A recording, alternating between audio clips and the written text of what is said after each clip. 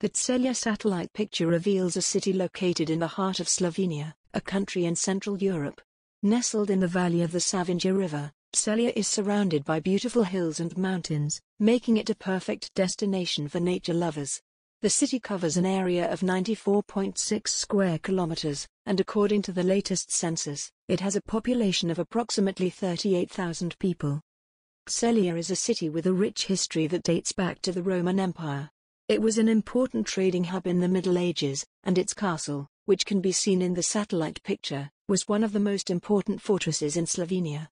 Today, the castle is a major tourist attraction, and it offers stunning views of the city and the surrounding landscape.